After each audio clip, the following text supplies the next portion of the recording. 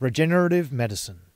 Regenerative medicine is a therapeutic treatment that replaces or regenerates diseased or damaged cells, tissues, and organs in the human body to restore normal function.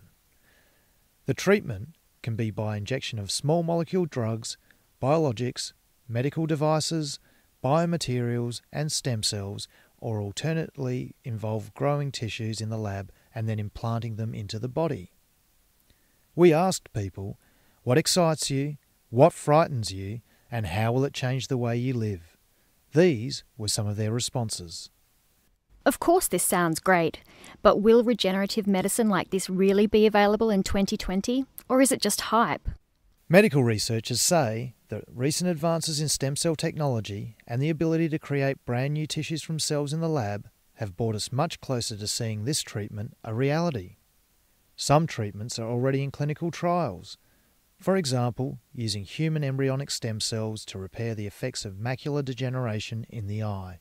This means that in the near future, stem cells injected into the body could be used as a treatment for everything from wound healing after accidents right through to the specific treatment of childhood diseases such as type 1 diabetes or the repair of cardiovascular system after heart attacks and the repair of damaged brain tissue caused by Parkinson's, stroke and other brain injuries. Doctors will be able to regrow brand new organs from stem cells in the lab, ready for implantation into the patient. This sort of treatment will open the door for the widespread replacement of damaged organs with healthy new ones without the need for donors. But where will these cells come from?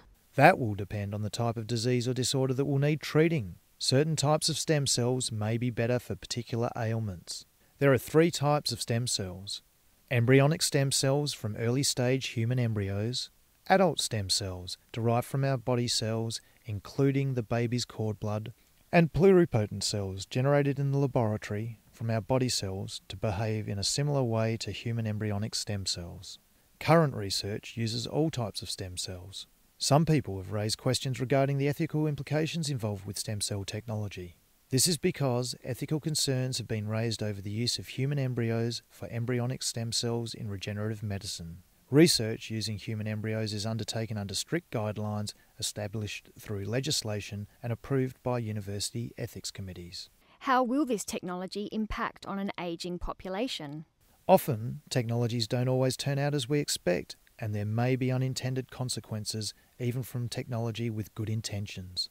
Regenerative medicine may be the first step to us living longer, healthier lives, but will this just mean we have an even larger, more dependent, ageing population? What do you think?